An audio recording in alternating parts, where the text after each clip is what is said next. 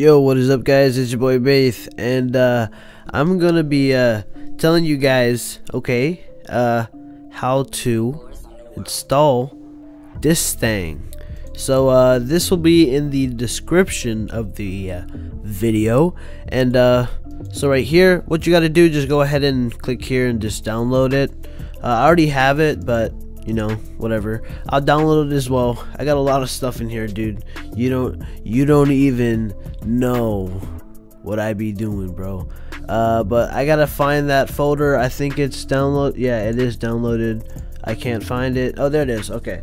And then what you want to do go ahead and uh, extract the files. There you go.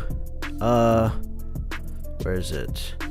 And uh you see this go ahead and double click that. I'll go ahead and do it as well for you guys but uh don't really want to.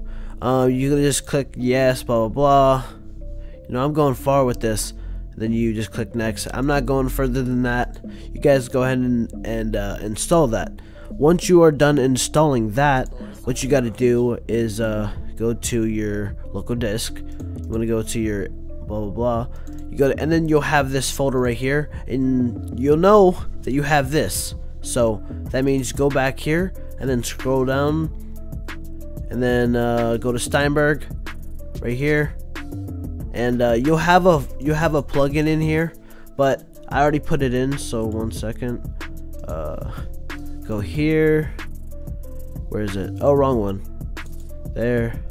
And then go to Audacity plugins and then what you do is drag it but right here it's already in there so this will be right there so you guys just go like that and then drag it in there so there you go.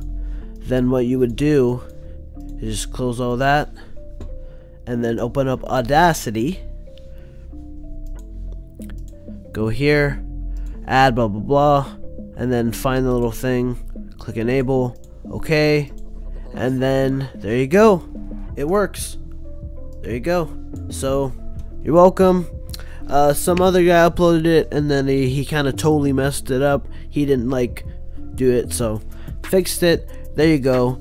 These are my settings. You can try it yourself. It just you really just have to experience and just try it out. You know, I'm using soprano. I think I'm gonna do some bass, some. You know what I'm saying? But uh, you guys have a nice day. Have a nice night. You're welcome. Peace. I'm out. Yeet.